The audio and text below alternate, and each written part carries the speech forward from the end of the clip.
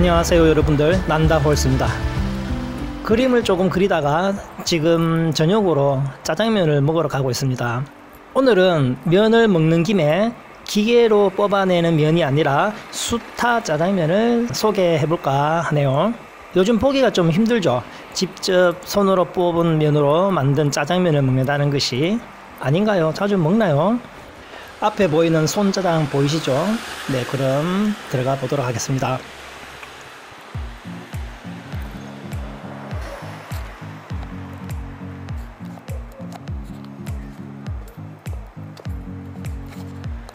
안으로 들어와서 보면 요즘 분위기가 물씬 느껴지는 깔끔하고 모던스럽게 되어 있네요.